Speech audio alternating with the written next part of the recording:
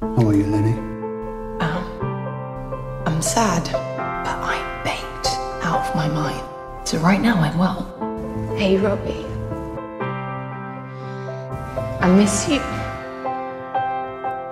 And I'm gonna miss you. I have done it. all. I'll be fine, you know me. I You're a badass too. I'm just a bitch with money and power. Hurt Come in here and take advantage of me. today. And the worst part is there's no one else to blame. You do nothing. Be my friend. You contribute nothing. And when all this goes away, you're gonna be nothing. So shit, your mum's my excuse.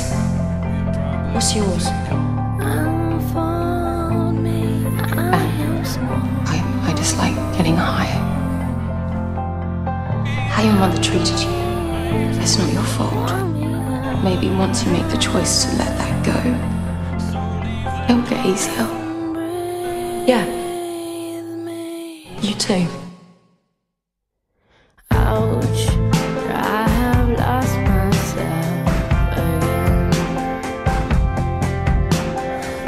Dad, do I disappoint you?